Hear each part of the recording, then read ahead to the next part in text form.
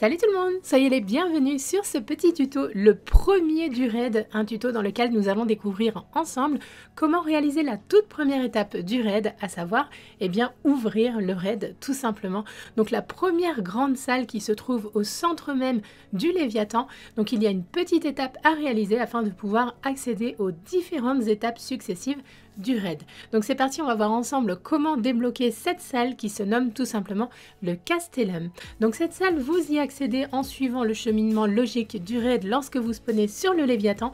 Vous allez tout droit, vous montez au sommet de celui-ci et vous allez voir une petite salle ouverte. Vous prenez cette salle, vous suivez le chemin logique qui s'offre à vous et vous allez naturellement atterrir dans le Castellum. Donc une fois dans cette salle, sachez qu'elle va vous donner accès par la suite à quatre zones distinctes symbolisées par des pictogrammes. Vous avez donc quatre pictogrammes différents, à savoir la coupe, le soleil, les armes et une bête. Donc ces quatre pictogrammes représentent tout simplement les quatre salles dans lesquelles vous allez pouvoir vous diriger par la suite pour achever ce raid.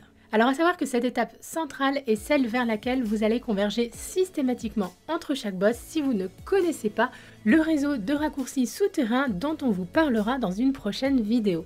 Allez c'est parti, on commence tout de suite. Donc vous allez comprendre rapidement qu'il y a une grande porte vers laquelle se regroupent les ennemis. C'est tout simplement la première porte que vous allez devoir ouvrir. En clair, la première étape obligatoire à franchir dans le raid. Parce qu'il y a un ordre à respecter et malgré les raccourcis souterrains dont je vous ai parlé, vous ne pourrez pas y couper. Donc dirigez-vous vers cette porte en question et commencez le clean de la zone.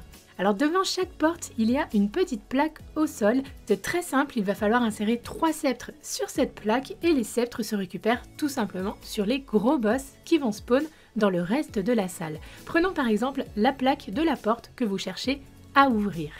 Alors sur cette plaque, vous allez voir un hologramme qui va tout simplement vous indiquer la zone dans laquelle se trouve le boss qu'il va falloir éliminer. Localisez donc le pictogramme Trouvez la porte qui est représentée par ce pictogramme, éliminez le boss et un son va alors retentir. Cela signifie que vous avez validé l'étape, vous allez pouvoir récupérer le sceptre qui se trouve sur la porte du pictogramme et le rapporter sur la plaque de la porte que vous cherchez à ouvrir. Une fois ceci fait, des conseillers vont alors spawner de façon successive près de la porte que vous tentez d'ouvrir. Lorsqu'ils spawnent, vous avez une petite phrase en bas à gauche qui s'affiche. Il va donc falloir tuer rapidement ces conseillers. Sachez que vous ne pouvez en laisser aucun vivant, sinon cela va faire échouer l'étape.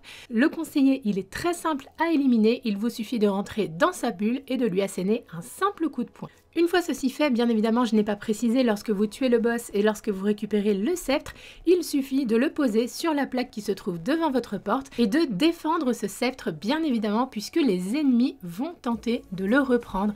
Poser trois sceptres, c'est tout simplement ce qui va vous permettre de déverrouiller la porte et le but des ennemis, c'est bien évidemment de vous en empêcher. Donc vous avez une petite zone blanche qui va apparaître sur le sol et qui va vous donner un boost de dégâts. N'hésitez pas à rester dans cette zone, mais postez également des joueurs en toute proximité puisque les ennemis vont surgir en nombre et certains seront un peu plus puissants que d'autres.